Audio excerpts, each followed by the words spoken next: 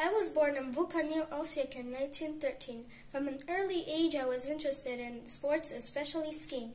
In my early 20s, I came across an ad for enrollment in Aero Club Zagreb.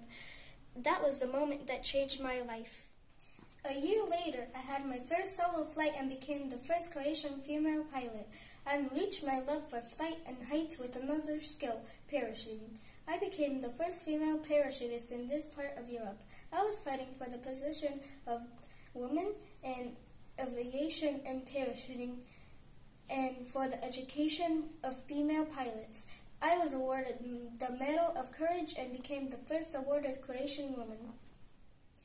Husband hated flying and feared for my life. By a twist of fate, unfortunately, my husband died in a plane crash.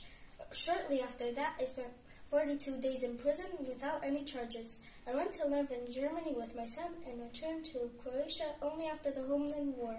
Due to my passion for reading, my sight has become very weak.